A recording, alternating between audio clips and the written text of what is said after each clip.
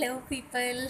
So, this is my fourth video of the day, and uh, uh, you know, people, I think uh, the more I see of life, more I realize that uh, somewhere I think uh, fruits and vegetables, no people, are like a they should be a non negotiable uh, aspect of your diet. I mean, because like fruits and vegetables, especially, like they have prana, right? So, when you ingest these fruits and vegetables, your body gets that much needed prana. I mean, uh, you know, there's this funny quote. They say the Chinese don't cook their vegetables; they only threaten them. You know, so and I think uh, vegetables that are eaten raw and all are the ones that um, really have these health benefits. So it's like it's just so amazing, yeah, that uh, the days that I've not had enough fruits and vegetables, automatically my energy is low, and I don't really realize why.